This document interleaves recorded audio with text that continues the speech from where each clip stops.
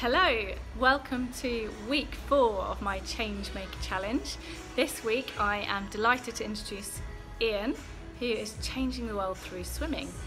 Uh, so, Ian, could you tell us a little bit about how you, well, the change you'd love to see in the world? Yeah, sure. The um, I mean, the change that we want to see in the world is is every child having a great start in sport. We believe that sport changes lives. We believe that children learn an amazing set of life skills through playing sport, and I would love to see every child have a great start uh, in sport, whatever sport it is they wish to do. Cool, brilliant. And tell me a bit more about how you're how you're managing to do that. So I run a charity called Level Water. Uh, the charity provides bespoke one-to-one swimming lessons for children with disabilities.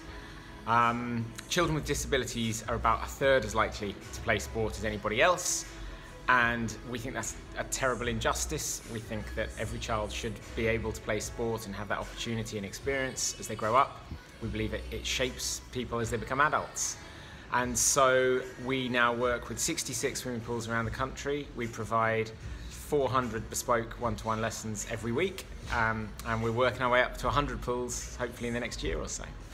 Brilliant, that's amazing. Thank you, Ian. And we'll look forward to seeing you back next week. Okay,